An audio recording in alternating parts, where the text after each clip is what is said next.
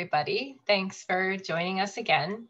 Before we get started with panel three, I want to hand the mic over to uh, Chris Skinner, who is the graduate program director here at uh, Loyola University Chicago's theology department. Um, and I'm really grateful that Chris is joining us and I would love for him to say something about these wonderful programs that we've all taken part in.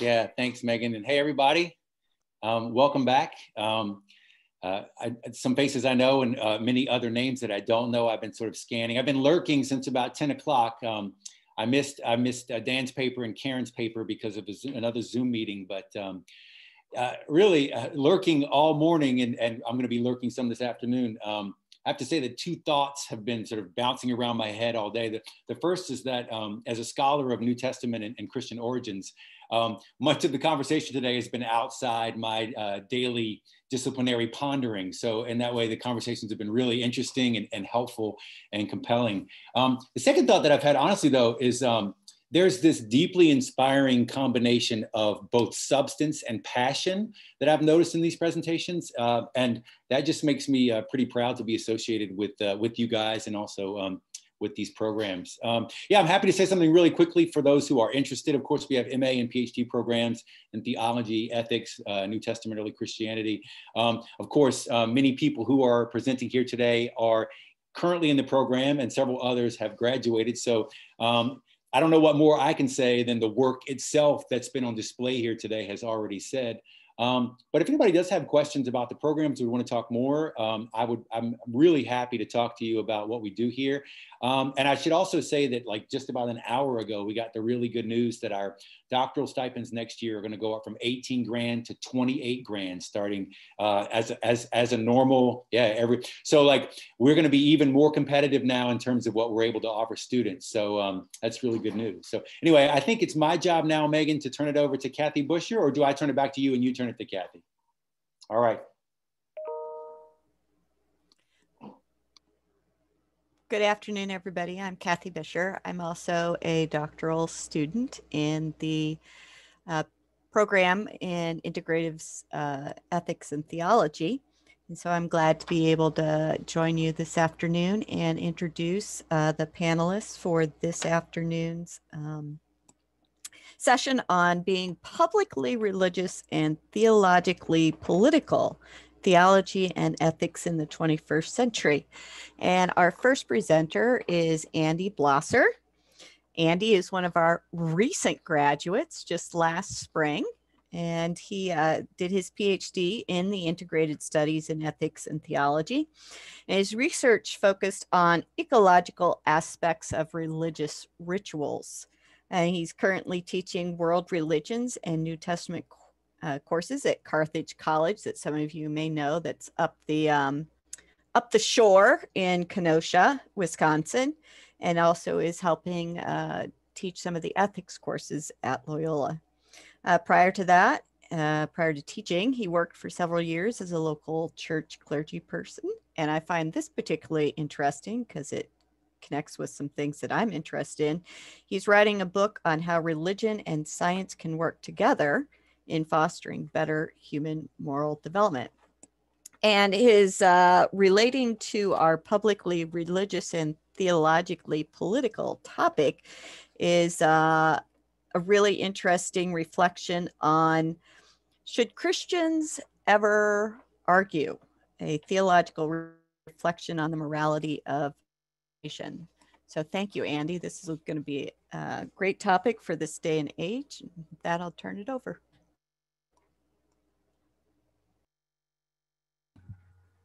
Thank you so much, Cathy. First of all, uh, is everyone able to hear me? I always do that with my students just because sometimes my microphone does have issues. So please let me know if that is a problem. First of all, I want to thank you all for having me here. And it's good to see some of the faces that I recognize uh, from past years when I was, as Dr. Skinner says, lurking around the Hank Center. So um, thank you. And I hope that this is of some benefit to you. I'm going to start by sharing my screen so that you can see my slides. Um, hopefully this works well.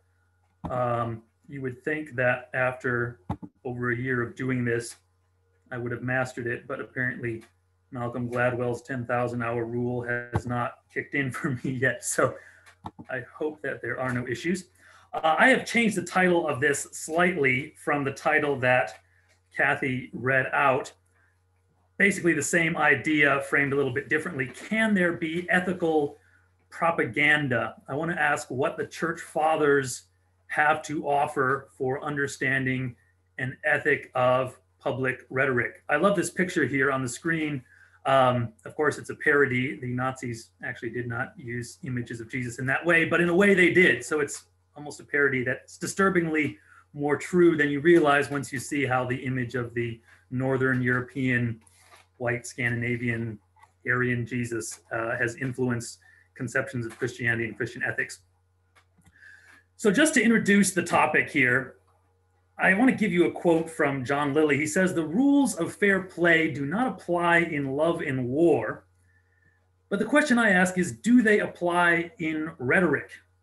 It is tempting to assume that, provided we abstain from strictly defined dishonesty and threats, any method used to persuade other people of our beliefs is acceptable or even noble. However, in what follows, I will argue that this simple answer does not work well. Using a stream of Christian thought that stems from patristic writers such as Cyprian of Carthage and Tatian, I will argue the claim that we have a moral, or I will make the claim that we have a moral obligation to carefully interrogate and sometimes reject certain techniques of persuasion prevalent in rhetoric because these techniques can create an unstable epistemic environment. After making this case, I will respond to Augustine's apparent disagreement with my argument and then show how Augustine's actual views offer a pathway toward an ethical paradigm for rhetoric. I want to begin by just briefly going over some of the views of the church fathers on the subject of rhetoric. Of course, uh, in the actual paper on which this presentation is based, there's a lot more that can be gone into here. Can't cover all the church fathers' views on rhetoric in just 18 minutes, but this is just a little snippet. Although all the theologians in the first three centuries of the church utilized worldly philosophical truths, the pagan aesthetic of communication in which those truths were expressed was nevertheless viewed suspiciously. There were two primary reasons for this. The first was the association of pagan rhetoric with false deities. The second, and perhaps less well known reason for rejecting rhetoric was more nuanced. Rhetoric, they argued, used force and manipulation as its means of communication, while Christians should persuade by facts. Cyprian of Carthage affords one example of this point of view when he says in his letter to Donatus that in courts of law, in public meetings, in political discussions, a full eloquence may be the pride of vocal ambition but in speaking of the Lord God, a pure simplicity of expression, which is convincing, depends upon the substance of the argument rather than the forcefulness of eloquence. What is the merit of, as Cyprian says, pure simplicity of expression? Later in the text, as he proceeds through a litany of the vices of humanity, Cyprian explains why imitating the popular style of the forum is not virtuous in the courts of law, one might expect to find justice and nobility.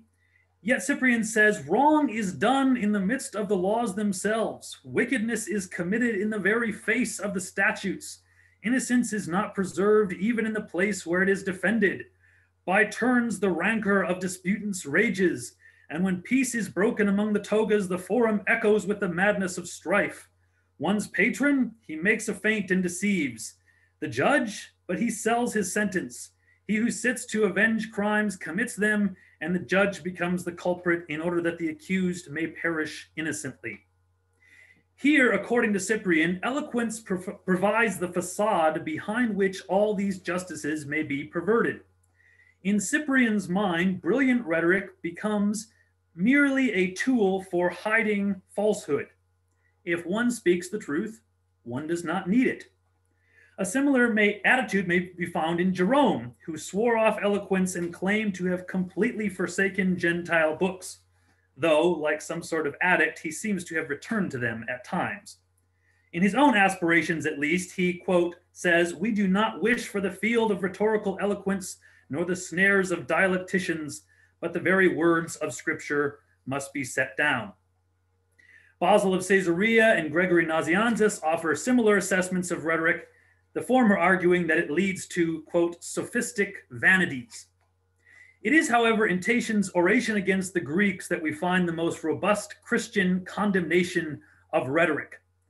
Holding nothing back in his allegations, Tatian says, You, the Greeks, have too contrived the art of rhetoric to serve injustice and slander, selling the free power of your speech for hire, and often representing the same thing at one time as right, at another time as not good. Later in his diatribe, he accuses the Greek rhetoricians of polishing language as a means of hiding its vacuity. Why do you handle the builder's tools without knowing how to build? He says. Why do you busy yourselves with words while you keep aloof from deeds, puffed up with praise, but cast down by misfortunes? Finding you to be such men as these, we have abandoned you and no longer concern ourselves with your tenets, but follow the word of God. Why, O oh man, do you set the letters of the alphabet at war with one another? Why do you, as in a boxing match, make their sounds clash together with your mincing Attic way of speaking, whereas you ought to speak more according to nature? For if you adopt the Attic dialect, though not an Athenian, pray why do you not speak like the Dorians?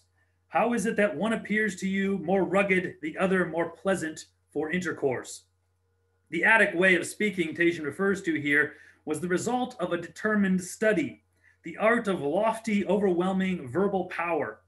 In an era in which the spoken word was viewed as the pinnacle of human communication, Tatian argues that the vogue methods of persuasion were problematic because they could be used to make unbelievable things believable.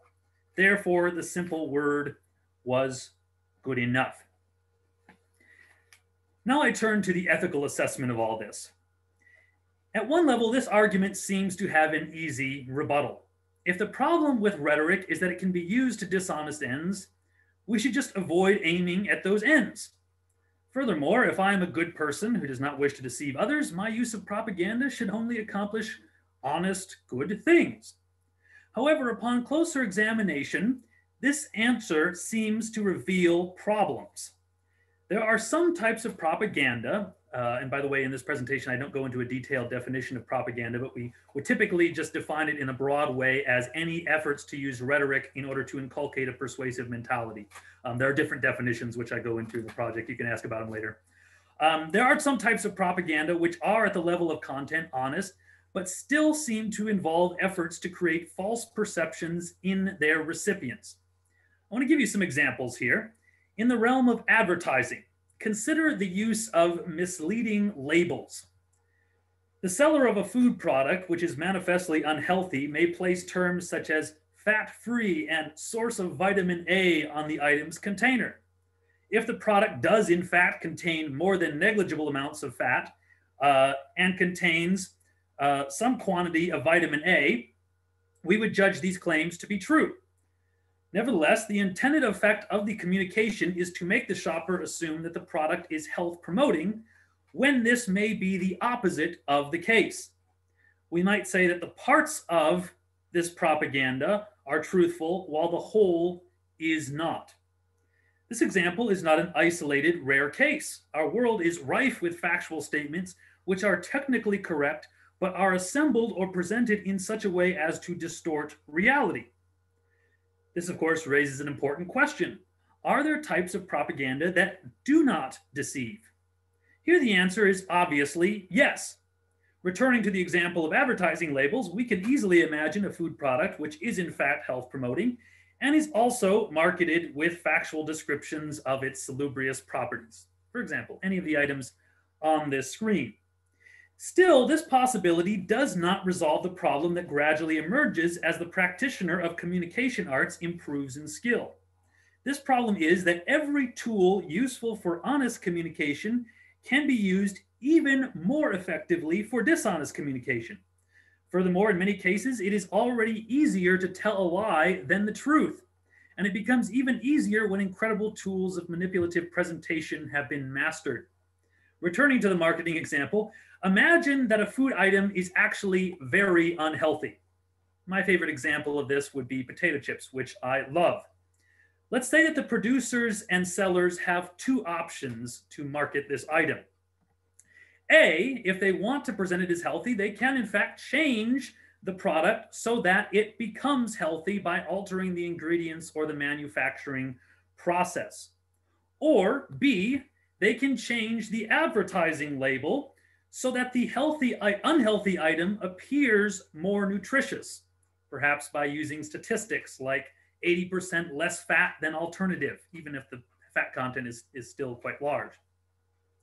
The question that uh, presents itself is which of these options will be easier?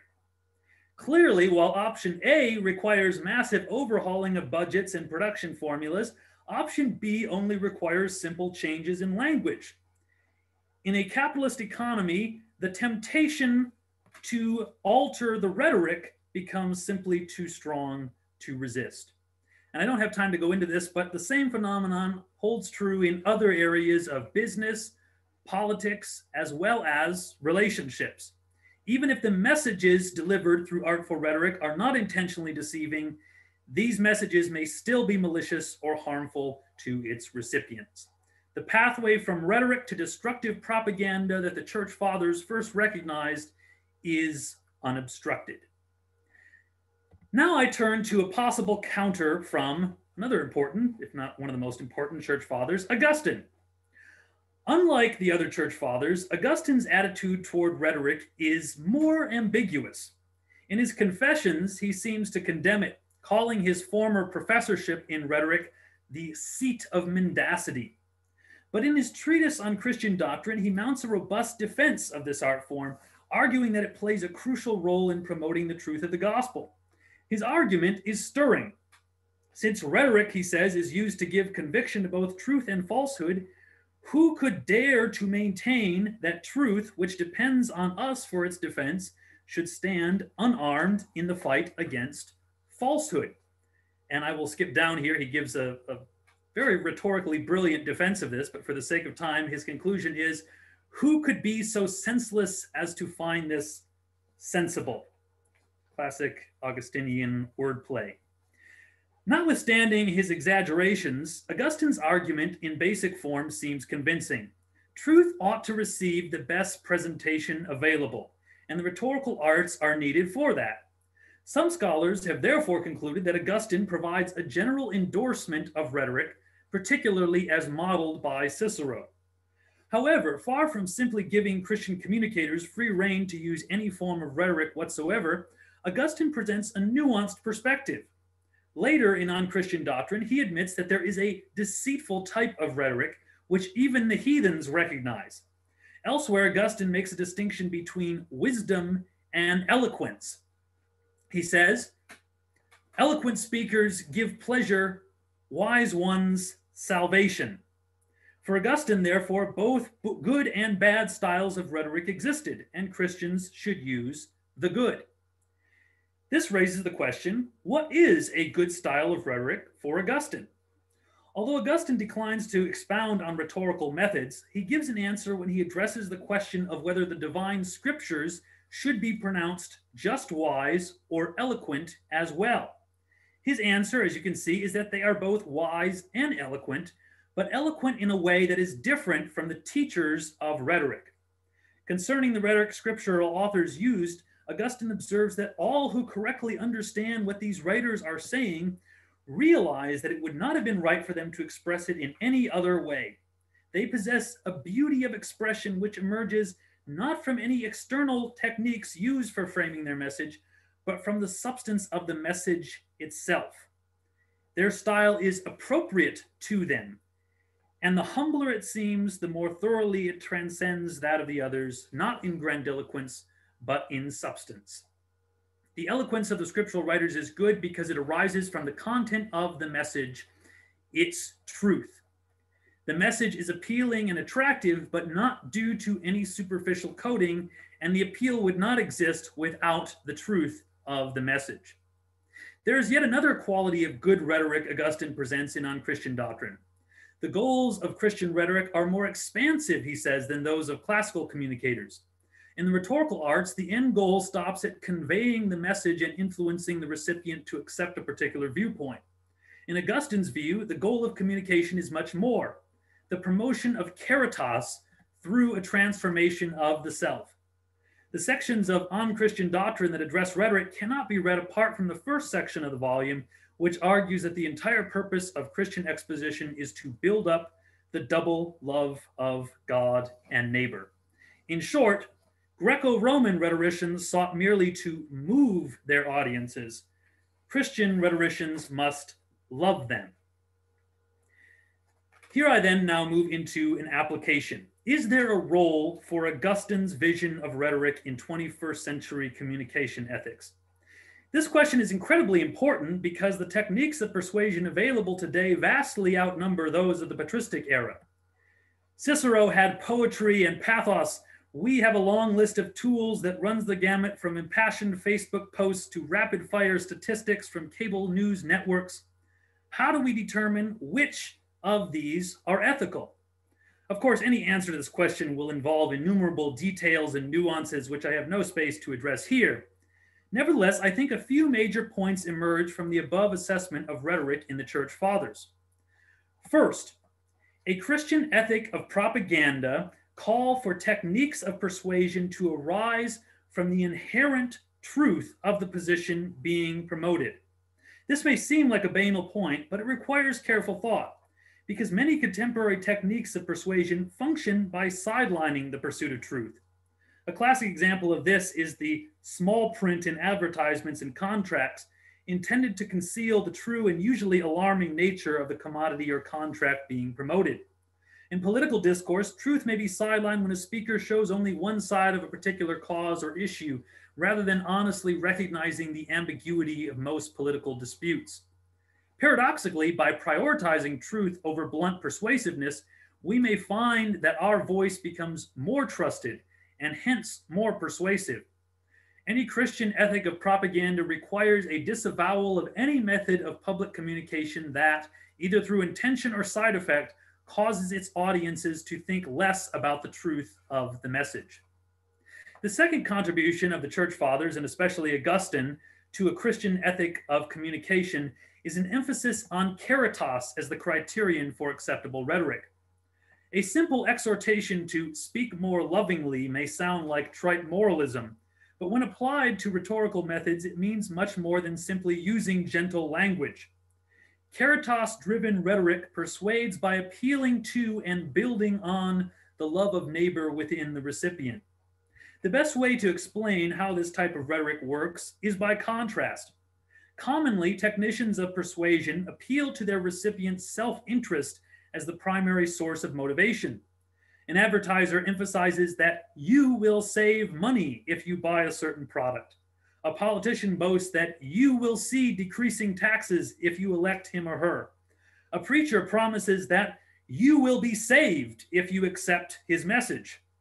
Of course, there is nothing wrong with making such promises if they are indeed true, but a rhetorician operating with a patristic model of communication would not place self interest as the key hook within the message. Rather, such a rhetorician would show how accepting and applying a given idea or course of action can enable the recipient to better love the world. The difference would be one of emphasis, but it would still be substantial. The advertiser would show how a product might make you a better parent or friend. The politician would argue that her tax policies will benefit the most needy. The preacher would proclaim that accepting his message will enable you to save others through acts of tangible caritas, feeding the hungry, caring for the sick, clothing the naked, and so on. In summary, then, in a world swirling with questionable forms of propaganda, these two rhetorical strategies could have a dramatic impact on the way we think about the task of convincing others. The Church Fathers' insistence that there are indeed harmful styles of rhetoric, combined with Augustine's positive injunction to use rhetoric whose beauty arises from its truth and whose appeal is rooted in caritas, give us a pathway for persuasion that may reduce the chronic distrust and vertiginous paranoia that plague our social media age. We do well to lend them our ear. Thank you very much. Thank you, Andy.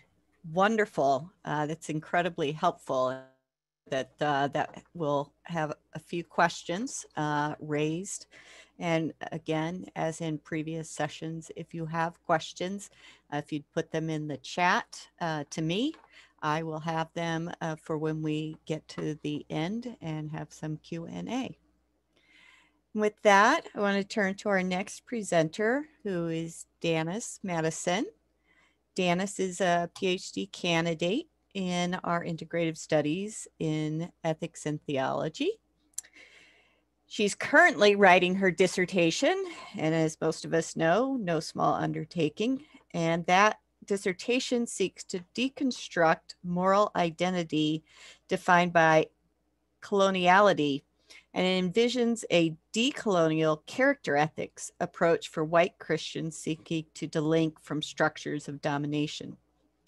Dannis is also a founding member of Encounterpoint, a faith community in Chicago's Edgewater neighborhood that provides liturgy experiences as well as hospitality for individuals and groups seeking to deepen their spiritual journeys and further their social justice projects. And I have participated in some of those and can certainly attest to how wonderful it is. And Dannis's past experiences as a healthcare justice advocate, a campus minister, and intentional community member, and other outreach ministry roles inspire her scholarly pursuits and shape her interest in bridging ethical reflection with concrete solidarity and justice work. And today, Dannis is going to talk about creative disobedience, delinking virtue from racial and religious supremacies. Dannis, all yours. Thank you so much, Cathy.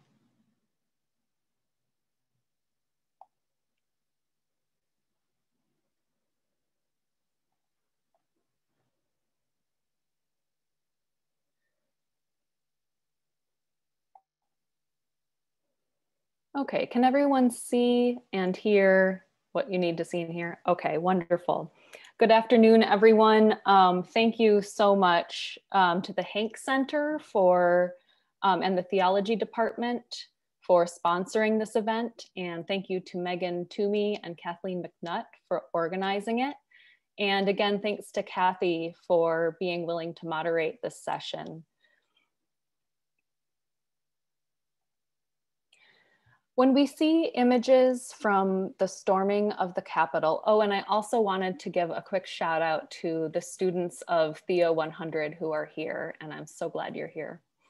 Um, so to begin, when we see images from the storming of the Capitol on January 6th, images of nooses next to Jesus signs and crosses, those of us who identify as white Christians wonder how to respond.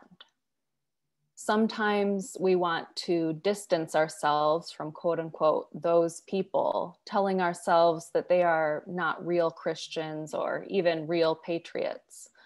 Other times we might find ourselves completely incapacitated in a state of self punishment for seeing quote unquote our own people participating in so much violence and hate.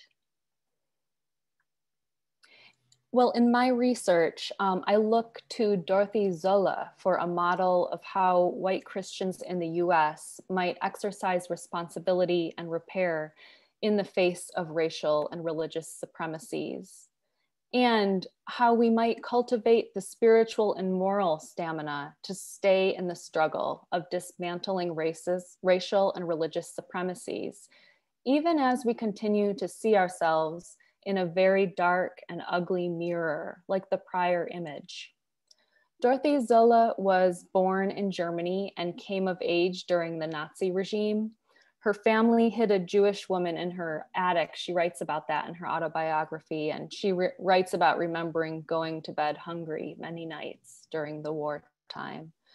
In the 50s, she taught religion at a Catholic high school in Germany and um, this was a major moment for her. She was dismayed to find that the children she taught told how their parents were attempting to forget that the genocide had even happened by repeating, repeating tropes about how under Hitler, at least the roads and infrastructure improved. This led Sölle to become a theologian um, and through her scholarship really grapple with Christian participation in oppression and genocide in Germany.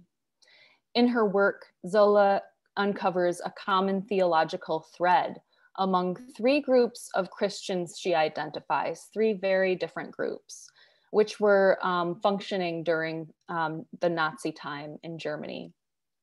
The German Christians were the um, sort of institutional church that became um, an actual arm of the Nazi state. The church in resistance, led by church leaders like Karl Barth and Dietrich Bonhoeffer, who we will hear about in a little bit. And then the intellectual bourgeoisie was the third group, um, who were more so cultural Christians than anything else. Um, so, in grappling with how German Christians, um, all of these different sectors of German Christians, allowed for and participated in genocide and war, she targets commonly held moral language across this broad spectrum of Christianity that she describes because she believes this would uncover um, a reason behind why Christian resistance against Nazism um, was not strong enough to persuade the majority of German Christians to dissent. The common thread she found weaving um, these three sectors together was the virtue of obedience obedience in all three of these sectors, from the Christian Nazis to the Christians in resistance, used language of obedience to persuade Christians to either act for or against Hitler. Sölle believed that it would be this language of obedience that needs to be eradicated from the Christian imagination and from Christian moral systems to cultivate a spirituality and moral identity um, that more effectively confronts um, injustice. Now, let me be clear, and I know it's not very popular to critique Bonhoeffer, but Sölle had profound um, respect for him. She regarded him as a theological father. She writes about him um, a lot. And um, but it's not so it's not bonhoeffer she's targeting at all. It's the language of obedience that she's targeting here in all of these different sectors of christianity. She said in, in the 60s in a book called creative disobedience surely it is no longer possible to speak of obedience with a sense of theological innocence. Can one demand a particular stance toward god and educate toward that stance, yet simultaneously criticize that same stance toward people and toward institutions? I suspect that we Christians today have the duty to criticize the entire concept of obedience, and that this criticism must be radical. It is no longer possible to describe our relationship to God with a formal concept that is limited to the mere performance of duties. We cannot remove ourselves from history if we wish to speak seriously about God. And in our Christian history, our history of the 20th century, obedience has played a catastrophic role. Whoever forgets this background or pushes it aside and naively attempts to begin with obedience as if it were merely a matter of obeying the right Lord has not learned a thing from history. So, in Sölle's argument, um, she wants to deconstruct the function of obedience socially um, as well as spiritually. She says it upholds an authoritarian image of God as commanding and demanding obedience to God's will. She says that the Christian then, um, in obedience, acts out of duty to obey and sometimes does not understand why they are carrying out a certain act. They just know that they are told to do so. Obedience further sets up a dynamic between God and the individual defined by power over or dominance. Sölle fears that a dominating divine human dynamic fosters a spiritual submissive, submissiveness among Christians. And relating to God as all powerful results in relating to the self as nothing without God, completely disempowering oneself um, and potential to act, to transform. And this authoritarian dynamic ends up reinforcing social structures of hierarchies in society.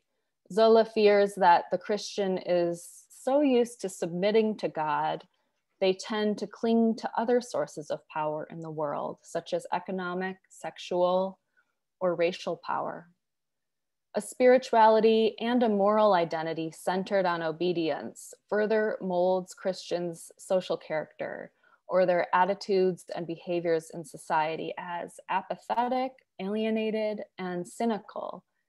And she goes beyond um, the Third Reich and is critical of um, consumeristic society in the in the 80s, um, 70s, 80s, and 90s. She starts writing about this within a consumeristic culture, being formed by obedience can actually morph into the compulsion to define ourselves in capitalistic terms, confined to seeing life as defined by um, production and consumption. We feel disempowered to take on social, political, social and political challenges. This is kind of her ultimate concern because our constant state of spiritual submission um, and so we numb ourselves against neighbors' suffering through consumerist impulses, according to Sölle. When Christians prioritize the virtue of obedience, personal disempowerment and apathy um, are not the only results, though. A more extreme social and political pattern surfaces, creating um, a Christo fascist society, as she terms it this happens when authoritarian images of God and blind obedience combine with white supremacy and extreme nationalism. when Christians were formed, um, excuse me, when Christians are formed morally to obey, they tend to be swayed towards extremist leaders because they have not learned how to trust their own conscience, only to obey orders. This is um, what Sölle saw happen in Germany with Hitler, and she also um, observed its emergence in the 1980s in the US during her time, her tenure at um, Union Theological Seminary. So Sölle ultimately argues that we must no longer form our moral identities in relation to a commander God, but in a way that fosters creative um, and courageous concepts of the self that equip us for difficult work, like reckoning with our ancestral and present day ties to racial and religious supremacies. She introduces a counter virtue of creative disobedience, which is actually more of a cluster of virtues that include healthy self fulfillment um, and engender interconnection and solidarity. There is so much to say here, um, but you'll have to read my dissertation to learn more about this facet of Sölle's work. After all, we only have about 15 minutes. but in my project, um, I show how Sölle's critique of centering the virtue of obedience and how it relates to her warning against Christo-fascism parallels today's rendering of Christian nationalism in the United States. I highlight a recent sociological study of Christian nationalism in the US, which emphasizes three ideological pillars upon which Christian nationalism is built power, boundaries, and order, and very specific interpretations of these structures. So, just as Sölle found obedience to be the common thread um, weaving through German Christians during the Nazi regime. I claim in my research that these three ideological pillars um, support Christian nationalism and can surface in Christianity in much less extreme forms. In fact, we do not need to espouse Christian nationalism to accommodate and proliferate these um, structures in our communities. Through upholding particular forms of power, boundaries, and social order, we are reinforcing patterns of racial and religious supremacy, even when they appear to have nothing to do with race instances in which we reinforce these ideological patterns can become red flags that signal supremacist attitudes and behaviors. So I'm going to break down these three structures.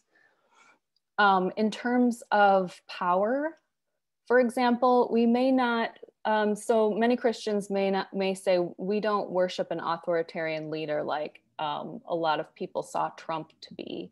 But we can accommodate hierarchies in our church communities and other organizations.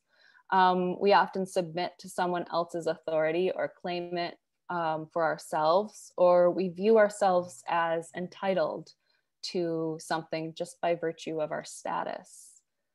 Um, a simple example would be top-down leadership. Sometimes this can this can be a red flag where one or very few people have control and the majority contribute time and energy but do not hold decision making power.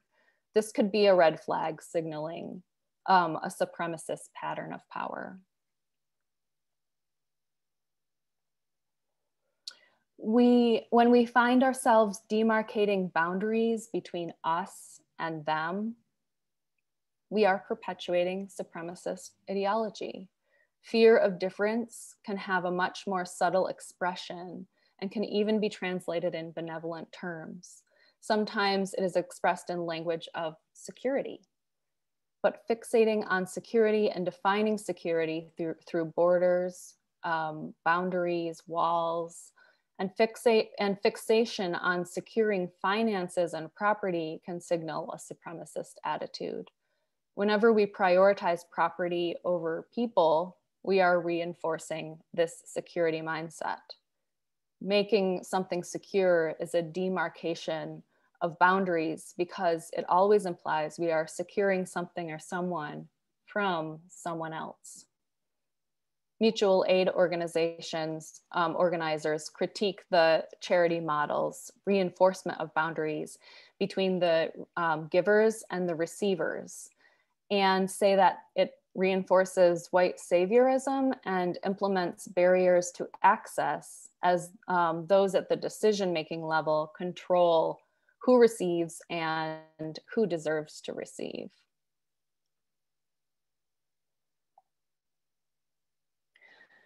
Maintaining particular, um, a particular social order. This one is a lot more specific, uh, this third pillar.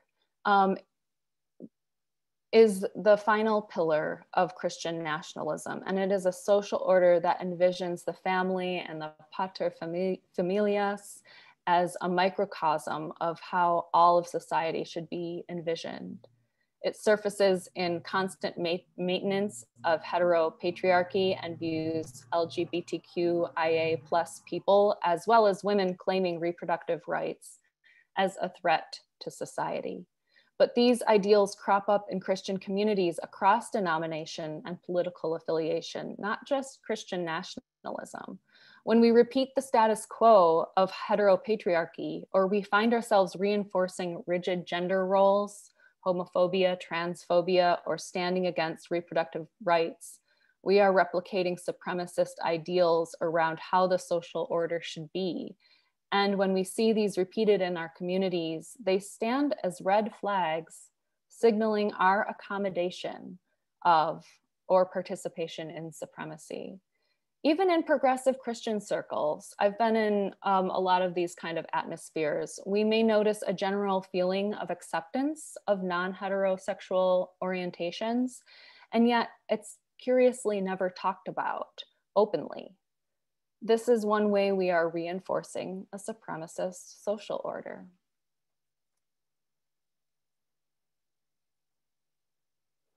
A virtue ethics approach, which Sölle has inspired me to take, exposes how as long as we accommodate these particular structures of power, boundaries, and order, we pattern our communities around these structures and we conform to them. They ultimately mold our moral identities more than we might be aware. We may disagree with these patterns of or ideologies. We may flat out disagree with them. But as long as our communities dance around these patterns and structures, we are being formed by them down to the personal level. The goal of my project, um, inspired by Dorothy Sölle's creative disobedience, is to map out an alternative moral identity formation process where we can take seriously the ideological pillars we uphold through our accommodation of them in our communities. And we can enter into a moral identity process that dismantles these re replacing them through cultivating virtues like um, inter culture, excuse me, cultivating virtues that engender um, interdependence, interconnectedness, and courageous creativity. I think this would be the start to fostering the spiritual and moral stamina we need to respond to both um, implicit forms of racism and religious suprem- racial and religious supremacy, um, the extreme instances of these. I'm tripping over my words here at the end. Thanks for bearing with me. Um, that, but we saw these kind of come to a head on January 6th, but I'm trying to say that they can um, surface in much less extreme forms.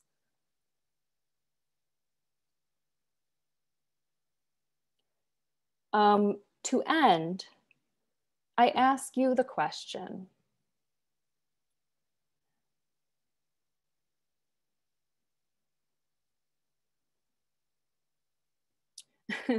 Where do you see authoritarian power, us, them boundaries, or the enforcement of heteropatriarchal so social order arise in your community or institution? What might, what might um, alternative relational and organizational patterns look like in your community or institution? Something to ponder. And um, thank you for your attention. And with that, I'll turn it over to Cathy. Thank you, Dannis. That was wonderful. Again, uh, I'm sure that uh, at least I know I have a couple questions. So uh, if others do, please jot them down so that you can share them uh, when we get to that point in this session. And with that, I will move on to our next presenter, who is Meghan Toomey. As most of you have already met, since she has been uh, helping organize and lead this day-long uh, exploration of our theological and ethical frameworks. She's a doctoral candidate in the integrated studies in ethics and theology at Loyola her dissertations titled The Meaning of Life's Broken Fragments Bonhoeffer's Ethics of Resistance, and it catalogs Catholic engagement with the works of Dietrich Bonhoeffer and presents a charism of resistance grounded in Bonhoeffer's incarnational Christology. Meghan's additional areas of interest include Catholic ecclesiology, theologies, and political theologians. Prior to LUC, Meghan earned a master's degree in systematic theology from Union Theological Seminary, as well as a master's degree in applied developmental psychology from Fordham University. And uh, her session, her talk, is going to be on Bonhoeffer's contextual ethics as a model for surviving contingency and crisis in our time. Meghan? Hey, thanks, Cathy. Um, everyone can hear me okay? Great. So I'm going to start us off with a quote from Bonhoeffer. Um, I won't respond directly to the uh, um, issue of obedience in Bonhoeffer unless uh, some more gets gets asked about that. But it's certainly not a unique critique to Sölle. There is a um, valid critique of the language of obedience um, that we need to pay attention to in Bonhoeffer's work. Um, Bonhoeffer says that there are specific moments in history which confront us with concrete problems, set us tasks, and charge us with responsibility. What does it mean to say that context, contingency, and crisis are signs of our times? The phrase signs of our times as a sociological idea refers to significant events or trends in a certain historical period. But Catholics know from Vatican II that there is a deeper dimension to this phrase, one that refers to those events and trends in history, which, if properly understood, reveal the presence of God, or some would argue, reveal the absence of God. We are talking about the spaces in our history, our, our, world, and our life that, if understood correctly, reveal or conceal the movement of the Spirit. So, in addition to asking what it means to think of context, contingency, and crisis as significant trends in our society, as a Catholic, I also ask whether these trends reveal or obscure God's will. To answer, I turn, perhaps less than obviously, to a 20th century German Protestant theologian, Dietrich Bonhoeffer, whose legacy has been the focus of my research for several years. I believe that his writings and biography have significance for 21st century American Catholicism. To put it differently, I am investigating what signs Bonhoeffer has to offer to our times. Bonhoeffer was born in 1906 in Breslau, Germany, which is now Warsaw, Poland. He was raised in a Lutheran family. As an adult, he became one of the founders and leading figures in the Confessing Church of Germany, a church that assembled on the basis of resistance to Nazism, as um, Dannis was talking about. One of the things for which Bonhoeffer is most well known is his martyrdom. He was executed in a Nazi concentration camp in 1945. Martyrdom is arguably a common claim to fame in Christianity. Less claim for venerated, less common rather, for venerated Christian leaders, however, is the distinction of being a would-be assassin. Bonhoeffer was executed for participating in an underground conspiracy that aimed to overthrow the sitting government by killing Germany's political leader, Adolf Hitler. An interesting life choice for a devout Christian and professed pacifist. Bonhoeffer was a theologian, a scholar, a seminary teacher. Above all, he was a pastor. He was a man deeply committed to his faith, a devout disciple of Christ. Given this, it would not be unreasonable to assume that when faced with the context of contingency and crisis in Nazi Germany, Bonhoeffer abandoned his faith and his pacifist beliefs. But that would be an incorrect assumption based solely on a superficial consideration of his actions. Much to the contrary, for Bonhoeffer, deciding to take part in an illegal underground conspiracy that culminated in a plot to assassinate Hitler was an expression of his Christian discipleship. To understand this, we'll examine some of Bonhoeffer's writings, essays that were published after his death under the title Ethics. In these essays, Bonhoeffer points out that concrete ethical problems define his generation. In response, Bonhoeffer wrestles with an ethics that embraces not only concrete reality, but also the ambiguity and contingency that is inherent to human existence and is especially palpable during times of crisis. In 1939, a time that was quickly becoming one of the greatest periods of persecution in Germany, and when the threat of being called for active military duty haunted all German men, some friends and colleagues of Bonhoeffer arranged for him to escape Germany by taking a position in New York. In conversation with his good friend George Bell, Bonhoeffer wrestled with whether he should stay safely in New York or return to Germany. Bonhoeffer scholar Samuel Wells tells us that what Bell helped Bonhoeffer to see was that there was no solution to his predicament. He was going to have to live without a solution. He was called to find a way to be with his people not in dramatic and conclusive decision, but in an extended series of daily discernments. Bonhoeffer decided to return to Germany. In a letter to Reinhold Niebuhr, he explained, I have made a mistake in coming to America.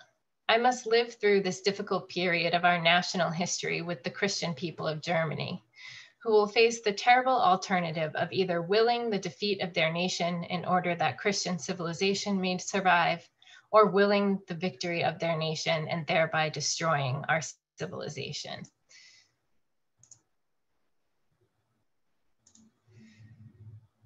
I know which of these alternatives I must choose, but I cannot make the choice in security. Bonhoeffer not only realized that there is not always clear right or wrong answers to ethical questions, but also he embraced this uncertainty. That is, he embraced the contingency of his situation, the contingency of the world and of his own existence. The following year, Bonhoeffer experienced another moment of crucial decision making when France surrendered to German forces in June 1940. This was a definitive blow for the Nazi resistance movement. The network of resistance allies at home and abroad crumbled. Anyone still willing to resist Nazi domination was forced underground. Wells explains that the victory in France had set the seal on an immense miscalculation that Hitler's methods and his estimate of the enemy would be unsuccessful. What the moment really meant for Bonhoeffer was that he and his circle were confronted with the horrifying truth that no one was going to get rid of Hitler for them. If they wanted Hitler gone, they would have to do it themselves. In that moment, Bonhoeffer knew that the choice was not about whether to surrender resistance efforts, but it was about how to change their way of resisting. Bonhoeffer wrote the first essays for his book Ethics over the course of 1939 and 1940. Beginning with an essay titled The Love of God and the Decay of the World, Bonhoeffer sought to discredit the notion that the task of Christian ethics is to distinguish between good and evil. Instead, he argued that it is actually the knowledge of good and evil that constituted an essential disunity between humans and God as well as a disunity in human relationships with each other and with an individual's relationship to themselves. He proposes that the only way to heal this disunity is by knowing Jesus as he is displayed in events, concepts, and principles which are intelligible to us in the Christian Gospels. I'll say more about that later. In Church and the World, the second essay Bonhoeffer wrote between 1939 and 1940, he goes on to address the question of Jesus' relationship to good people and goodness. What he does really is offer a scathing critique of common understandings of the words success and good, and especially a critique of associating those two words exclusively with each other. That which is good is successful, that which is successful is good he wants to critique these. Bonhoeffer explains that human ideas about acting good are necessarily misgiven, pointing again to the fact that it was the original apprehension of knowledge of good and evil in the Garden of Eden that fractured human relationships. Building on these insights, Bonhoeffer presents the core of his ethical framework in History and the Good, which is an essay written during the climax of Bonhoeffer's activity in the anti Nazi underground conspiracy. So uh, between 1941 and 43. Using the categories of goodness and responsibility in distinct ways, Bonhoeffer argues that there is no such thing as goodness in the way that humans have understood it. According to him, a responsible person, and by responsible person, Bonhoeffer means a faithful Christian disciple, does not seek good based on their own knowledge, which is disconnected from God. The responsible disciple, rather, seeks only the will of God to direct their actions and attitudes. Bonhoeffer concluded that good is only found in the embodied action of the form of Christ in different circumstances. Bonhoeffer offers a distinct understanding of God's will here. For him, God's will is not universal or communal, as are other ethical codes, such as the Decalogue, which prescribes behaviors and attitudes that all humans should model. Bonhoeffer explains that responsible action is not justified by any law. It is perfor- performed in ignorance of good and in the surrender to God. For it is God who sees the heart, who weighs up the deed, and who directs the course of history. For him, God's will is diverse and contextual, working from within individual circumstances to form human beings. Thus, Christian discipleship is a matter of becoming the form of Christ. Ethics is active embodied formation in relationship with Christ. Bonhoeffer explains Ethics as formation, then, means the bold endeavor to speak about the way in which the form of Jesus Christ takes form in our world. in a manner which is neither abstract nor casuistic, neither programmatic nor purely speculative. Concrete judgments and decisions will have to be ventured here. Decision and action can here no longer be delegates to the personal conscience of the individual. Here, there are concrete commandments and instructions for which obedience is demanded. Bonhoeffer's point is that ethics is something you do, not something you cognitively formulate into principles or laws. Therefore, in order to understand Bonhoeffer's decision to participate as a conspirator in a plot to kill Hitler, we must adopt his perspective, where God's will is a contextually diverse and individualized reality, and where active participation, participation in that reality is the definition of ethics. The question we must now address is whether Bonhoeffer's understanding of ethics allows for murder to be part of God's will. Did Bonhoeffer's theological ethics justify his actions undertaken within the framework of conspiracy? The underlying foundation of my answer to this question is the assumption that Bonhoeffer deliberately acted with volition and foresight. In Confession of Guilt, which Bonhoeffer wrote while still engaged in the conspiracy, he asserts that the structure of responsible action includes readiness to accept guilt. This is one of the first instan instances where Bonhoeffer pr proposes guilt as a prerequisite to acting responsible, that is, to being a true disciple of Christ. Disciples must be willing to take on guilt, guilt up for their own sins and for the sins of others. This is where the deeply incarnational Christocentrism of Bonhoeffer's theological ethic emerges. He emphasizes that it is solely love which makes Jesus incur guilt. From Jesus' selfless love, from his freedom from sin, Jesus enters into the guilt of humans and takes this guilt upon himself.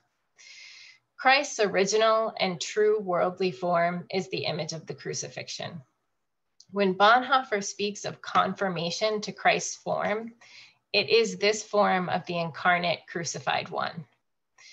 He describes this conformation as a faith that changes with experience.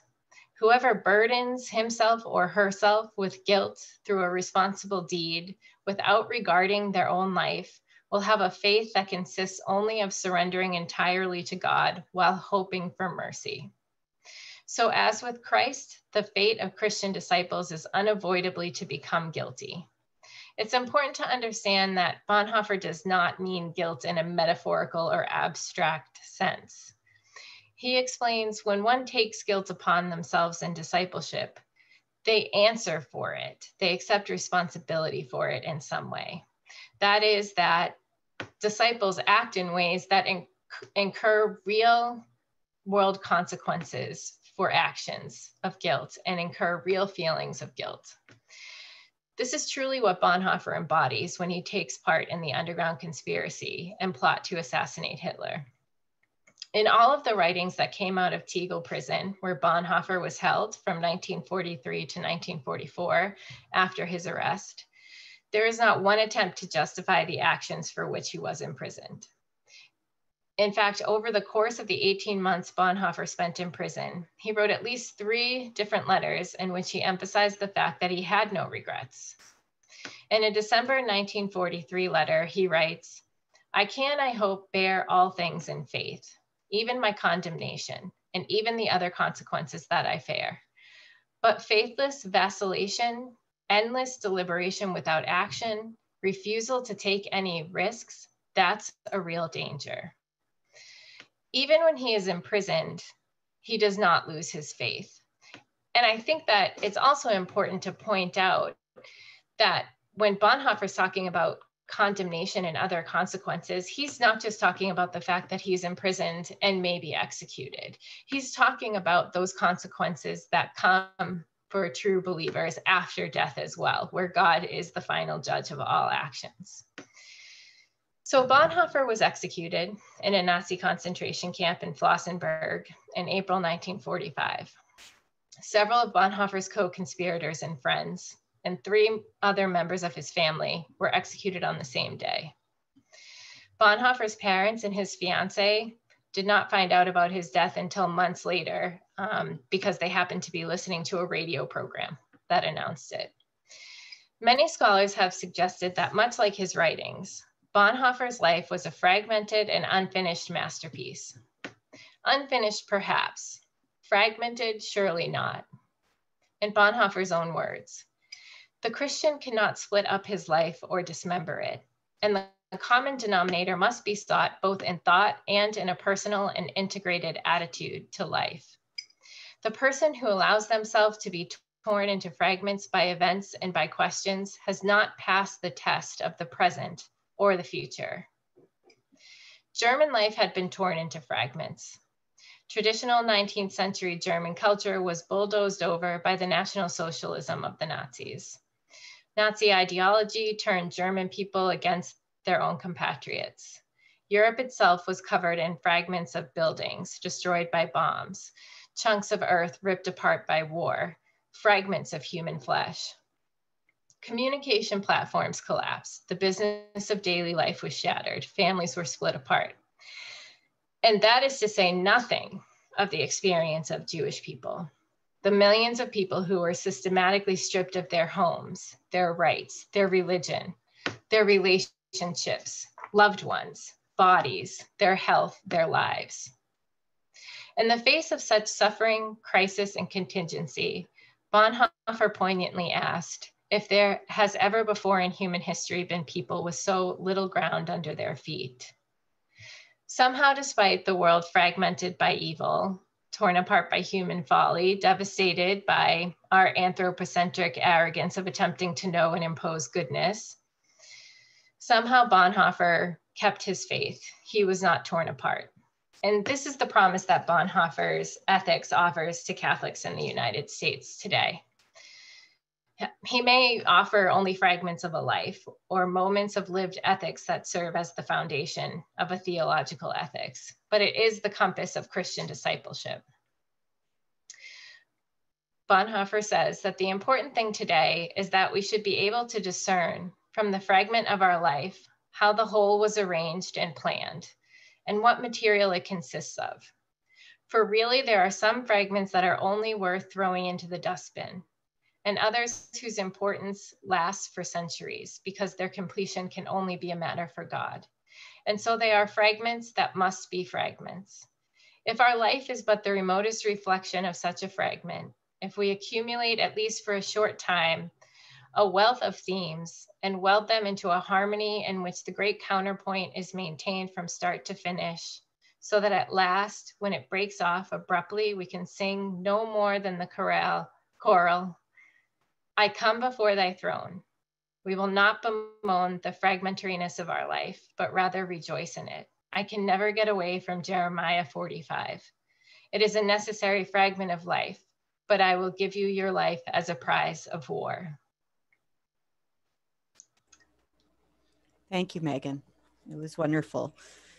made me think of uh, the novel I'm using in my dissertation, uh, where the main character ends up choosing to do something that is out of uh, alignment with the Catholic Church in which he has been raised.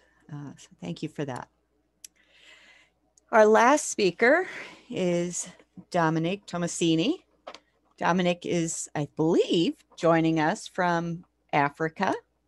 Uh, I believe that's where he's currently at. He is a Zimbabwean Jesuit priest working as a dean of the Jesuit School of Theology at Hekima University College in Nairobi, Kenya. He also teaches fundamental theology and ecclesiology in the same school. His research interests include theology and urbanization, African Christian theology, theological hermeneutics, theology and literature, and autobiography as theology. Dominic, welcome. What time is it where you're at?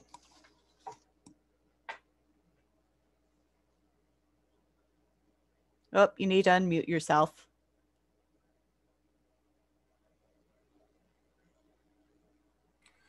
Thank you very much, Cathy. I was just saying that the time now is nine minutes after 10 p.m. Uh, it's a good hey. time for me because I work at night. Ah, uh, great. So uh, thank you. Uh, thank you. First of all, let me say thank you to everyone who is behind this uh, project, uh, this forum, and um, and thank you for remembering me from this far end of the world and being part of, of, of it. And I'm happy to meet many people here who have been uh, part of my salvation history uh, during my time in Chicago. And um, I, am really finding this uh, conversation we are having speaking to um, to my life of vows. I'm going to prevent, present something on the vow of poverty, um, but uh, everything else that has been said somehow touched on my life of vows. I mean, what Karen presented on these sexual abuses and um, uh, what even presented on queer uh, it all speaks to my vow of chastity. Somehow after and then there's something on obedience. Again i've take vow of obedience. And i think meghan's presentation was somehow similar to what control or what sort of guides our obedience as jesuits uh, which is um, discernment. I find a lot of discernment in what uh, this bonhoeffer was all about so mm-hmm. this is actually something that is speaking to the depth of my being, and thank you very much. Uh, now, let me see if I can go to what I, I would like to share with you. Uh, my topic is um, cash crisis, uh, religious poverty, or religious in brackets, uh, poverty as a foundation of a theology of money, or for a theology of money. This work is in progress and it has changed over time since I submitted the topic. And um, due to limited access to the resources that I wanted to use, because most places are closed due to the pandemic, I do not have a very uh, polished paper to present. All I'm going to give you uh, just is just an outline of uh, some thinking around this issue of um, of um, of money. Uh, the project started as a work of trying to use religious poverty um, as a way of understanding actual or real poverty. Uh, but then it turned out that religious poverty has more to learn from actual poverty. It's actually, it came out the other way. I thought our vow of poverty as religious has a lot to share with the world. But uh, at the end of it, I kind of discovering that no, we have to learn from poor people. And this work is part of the Jesuit Universal Apostolic Priorities, or what they call UAPs. Uh, since 29, the Jesuits worldwide came up with four priorities which will guide our apostolates um, for the next 10 years. And these are show a way to God through spiritual exercises, uh, journeying with the youth, working with the poor and the excluded, and taking care of our common home. Um, as they are interpreted, this is not the end, the, the end or what we were trying to achieve, but we are trying to see how these experiences can help us change or transform our lives. So my reflection here on it's on poverty, it's on working with the poor and seeing how working with the poor can change us as Jesuits or as religious and can change everybody else. About um, half a century ago, uh, Gutierrez raised the issue about the relationship between religious poverty and actual poverty. He pointed out uh, paradoxes or ambiguities within these kinds of poverty. Religious poverty is associated with what is termed as spiritual poverty of Matthew chapter 5, where we get this phrase, blessed are the poor in spirit. It is about an inner disposition towards material goods. For Jesuits, uh, this disposition is based on the principle and foundation uh, found in the spiritual exercises of St. Ignatius of Loyola, uh, which states, I'm trying to summarize it here, we are created to serve, praise, and reverence God in order to attain our salvation. All other things are created to help us towards our end, which is to praise, save, and um, reverence God. Therefore, we should use things to the extent that they help us towards our end.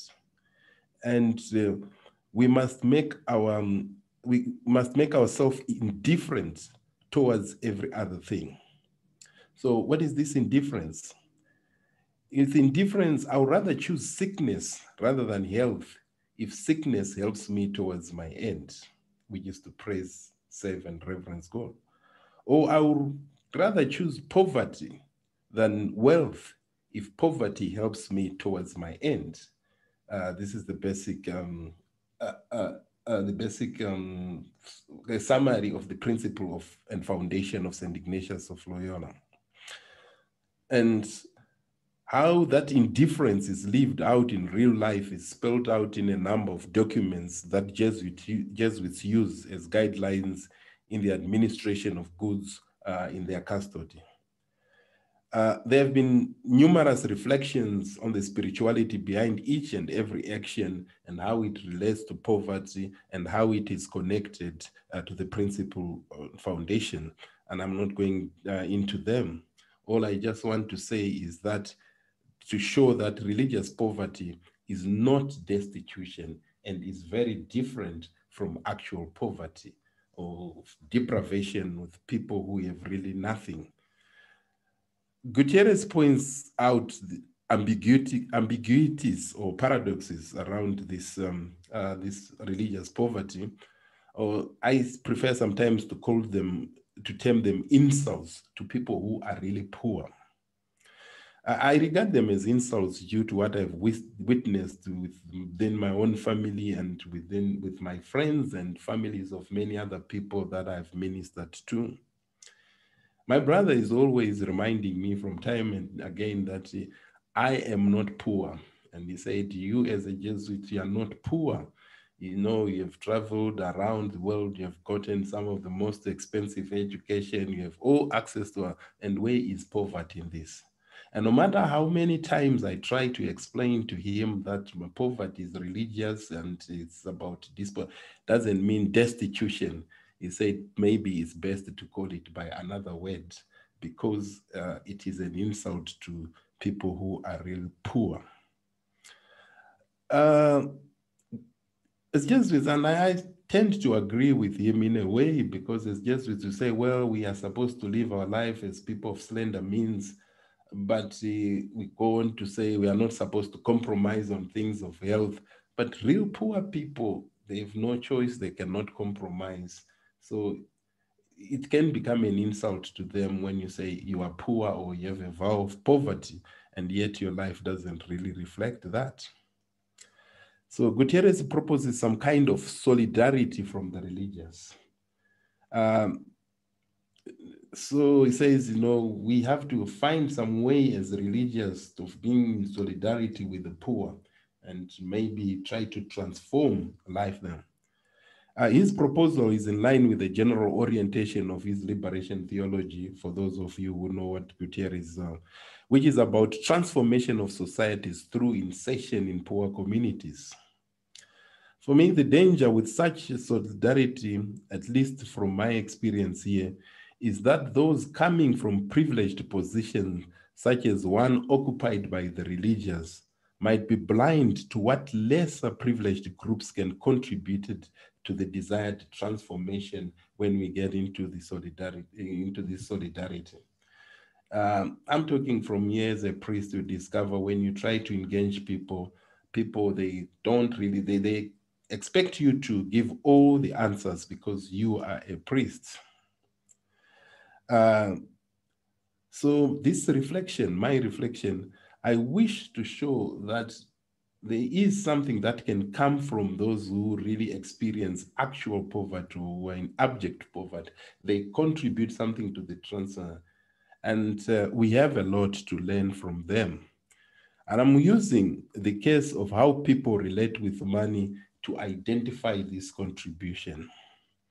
One might ask, why focus on money? Poverty is far much bigger than money yeah, people now they say there are a lot of people who have a lot of money and but they are poor. Well, the quick answer to that is um, my focus on money is is is that it's far much easier to talk about poverty in relation to money than anything else because this is where most people experience poverty. We can talk of other different kinds of poverty. But when you don't have money, you really understand what it means to be poor. But the major reason behind this decision is the experience uh, that experience uh, this topic. It is a very local experience, but I think it has got some global significance.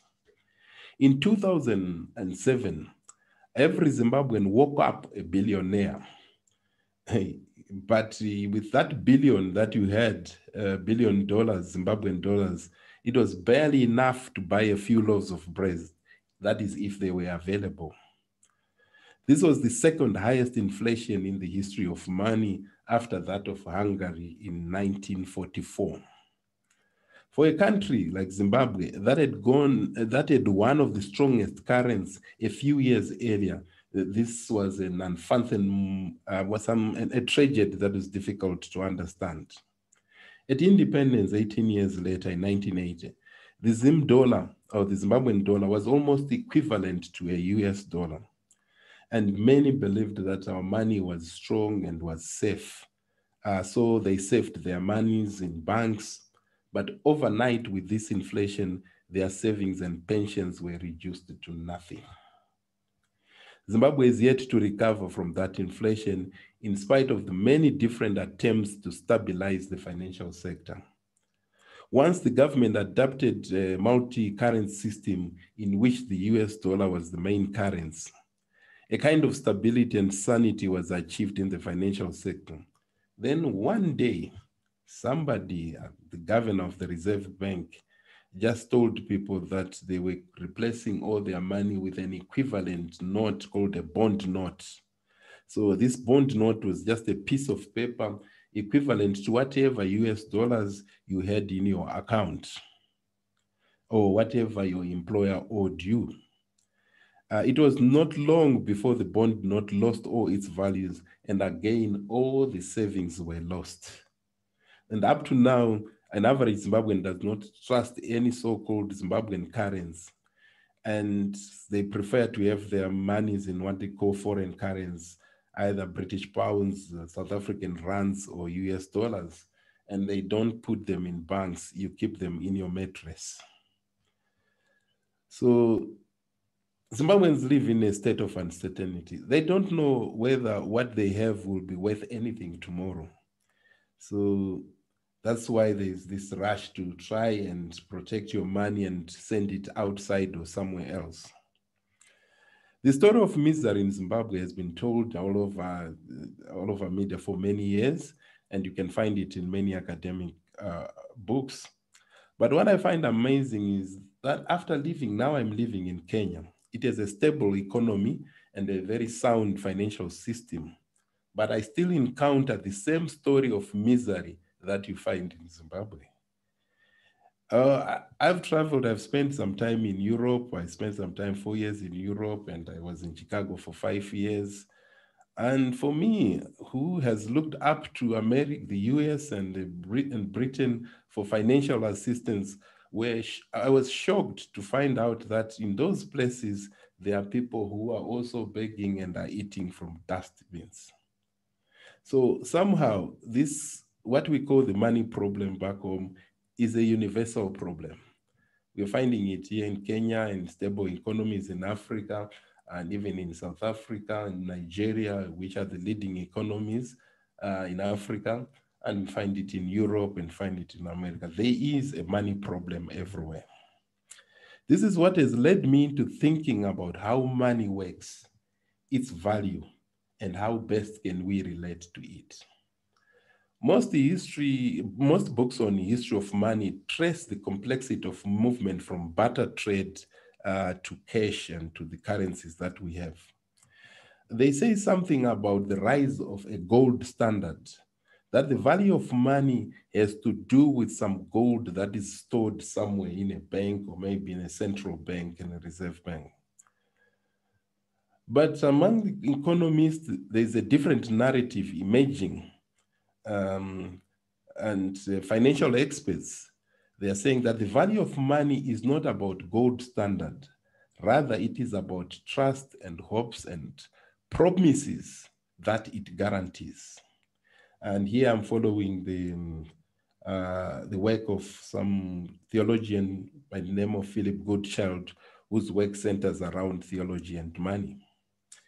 See, the Zimbabwean dollar collapsed not because there was no gold in the banks to guarantee its value, but because the government and the financial institutions could no longer be trusted.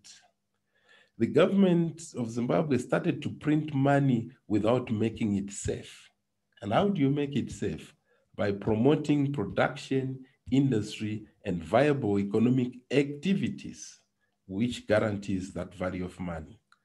Corruption and democratic and autocratic government were a major factor in the devaluation of the Zimbabwean dollar. The US dollar and the British pounds are strong and stable because, in spite of the problems in their politics, there is a history that what money promises is guaranteed and achieved. The value of money is about a promise and the guarantee of that promise.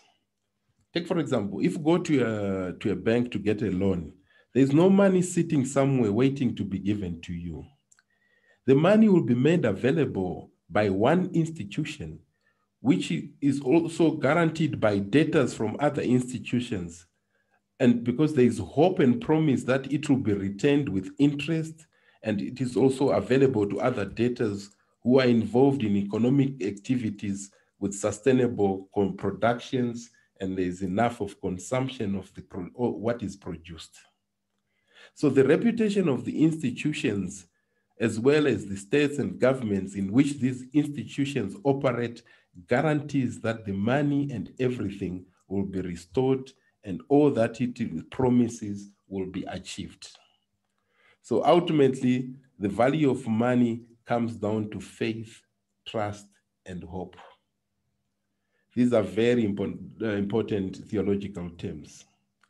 It is from this perspective that uh, Professor Goodchild develops a theology of money, where he demonstrates that money is about practice of faith, just like the practice of faith which we seek to understand in theology. Practice is some kind of a practice of faith is some kind of spirituality and many people do it in different ways.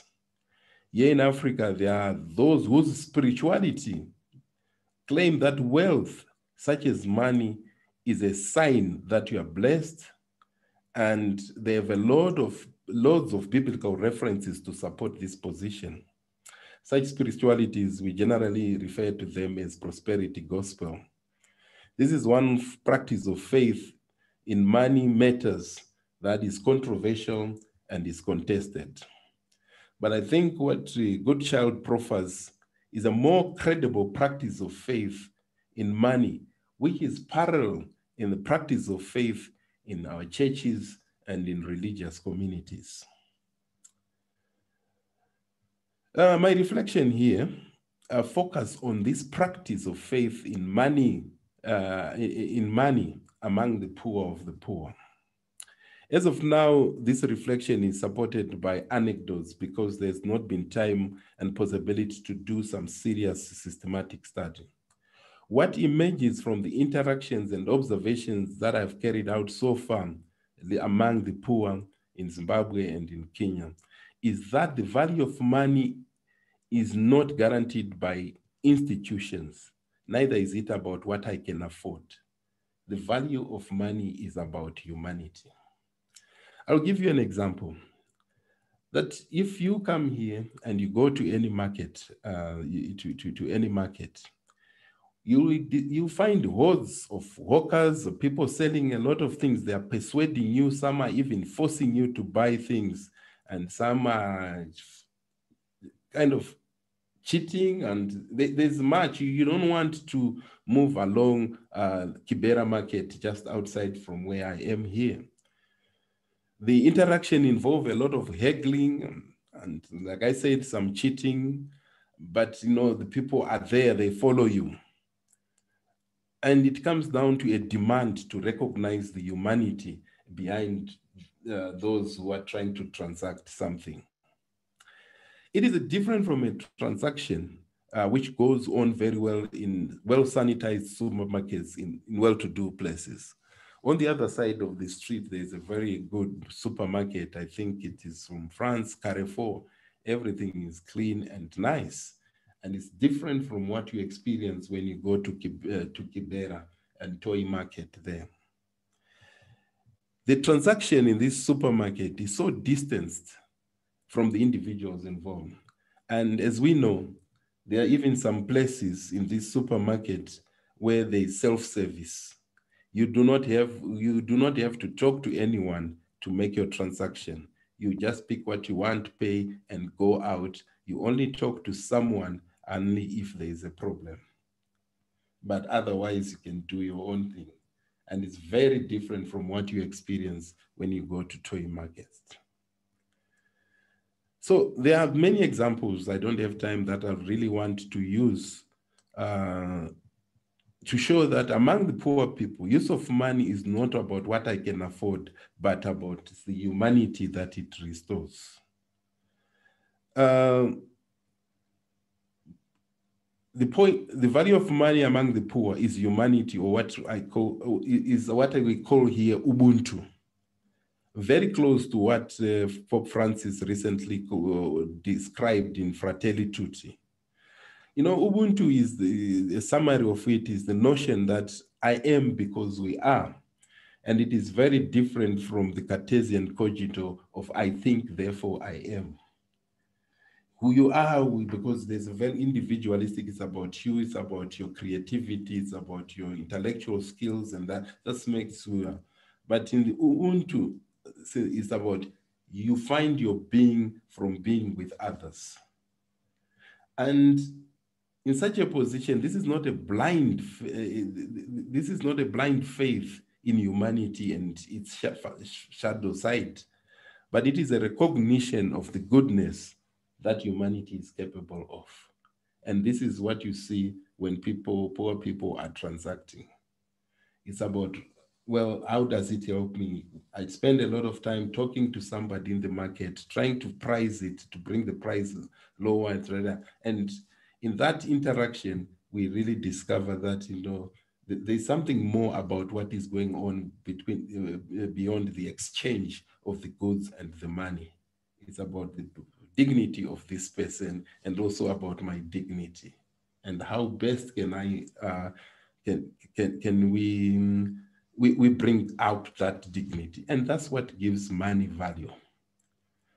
Um, the relationship between poor people and money is a reminder that the value of money lies within our values as human beings and not in the not in the amount in our bank accounts or uh, inside our mattresses.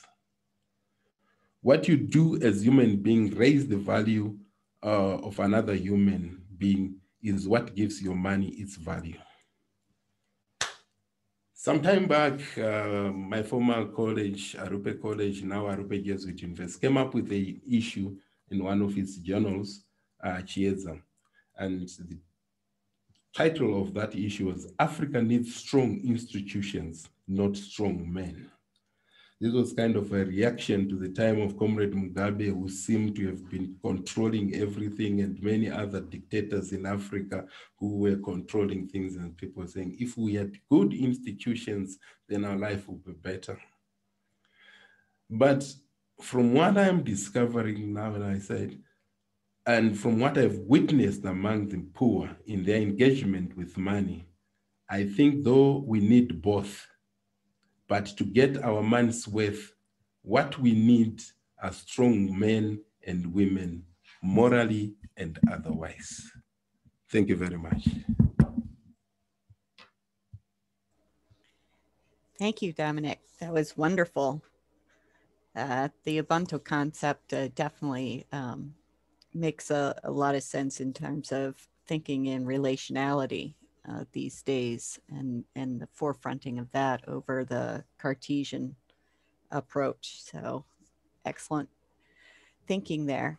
Uh, we have just a minute or so. Um, so I do have one question. Uh, I have multiple questions in the chat, but uh, I'm gonna, uh, there's one that goes to both Dannis and Meghan. So I'm going to uh, present that one. Um, this is from Canoe. Uh, the question is How would Sölle have responded to Bonhoeffer's theological ethics formed and informed by the notion of God's concrete commandment, a la Karl Barth, and vice versa? Is his strong emphasis on obedience, he has that in quotes, to God's commandment somewhat at odd odds with Sölle's theology? How much are they agreeing, disagreeing with each other? Uh, so I will turn it over to Dannis and Meghan uh, for some reflection on that. Sure, I, I, can say something briefly. I think that um, so generally, uh, something that's important with Bonhoeffer uh, specifically, and um, I think that the Barthian, the Barthian influence, but also you know sort of the consonance with um, Balthasar is very obvious in Bonhoeffer.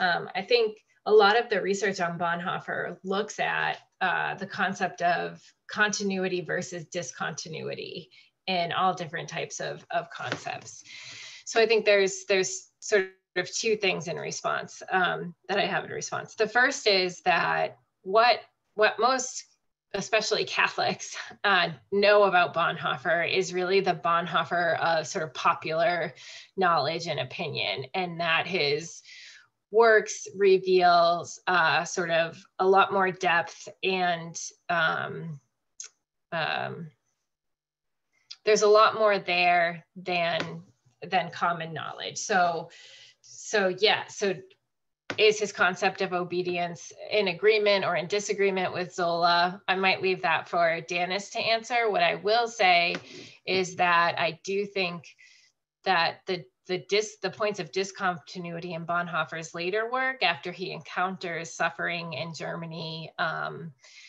re, shows that he is, has reconsidered or he has problematized um, ideas such as obedience. Um, I think the concept of responsibility uh, is probably a lot uh, um, better to latch onto in Bonhoeffer um, towards the end. There was something else I wanted to say, but I can't remember what it is. Dannis, do you have anything?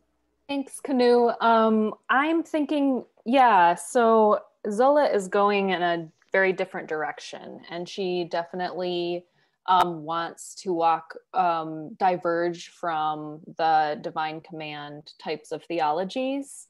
And she follows a little bit more closely with H.R. Um, Niebuhr, who was more of like a responsibility ethics. Um, you're responding to the situation um, kind of ethics, but I do think she would and does com- completely align with um, the contextual side of that. And she also, I think, resonates with Bonhoeffer's idea of ethics as formation, something that you do rather than prescribing principles um, and formulating principles to live by. So it's a yes and no, but it's mostly a no um, in terms of whether she aligns with this Barthian divine command ethics. Yeah, so actually, I want to I, I want to add to that really quickly that um, I, I think I that this is what I love about Bonhoeffer is that um, he's such an excellent excellent example of someone who is um, just just so deeply influenced by his time, right? So it's so it's easy to problematize his language and um, the systematic pieces of his theology when looking back. So, um, so to validate Sölle's critique, right? There's valid critiques of the patriarchy and the hierarchy and and um, all of that that's in Bonhoeffer's work. And at the same time, he really um, was transforming theology and ethics at the same time as he himself transformed through the context, the, his his real lived experience, which is what I think makes him such an interesting figure to look at. And and sorry, and just to add, you know, I'm thinking of Audre Lorde's um, argument that you can't um, dismantle the, the, the, the master's house with the master's tools. And I think that Bonhoeffer was still using the master's tools. He was still using some of the master's tools, but he was wrestling with them. And, and that's very important. Thank you. Thank you to uh, all of our panelists this afternoon, Andy and Dominic, Dennis, and Meghan. Uh, wonderful thinking on the um, politically religious and theologically political. Uh, with that, I will turn it back over to Meghan to move us on to the final panel of the afternoon. Thanks so much. Thank you. Thank you, Andy and, and Dominic and Dennis. It's uh, it's just been wonderful um, being in dialogue with you this afternoon. And, and thank you, Cathy, for facilitating all of it. We are, I'm going to invite you to take um, a four minute break. We're going to start again at 2.45, but join us at 2.44 so you don't miss anything. And we'll have our final panel of uh, the afternoon.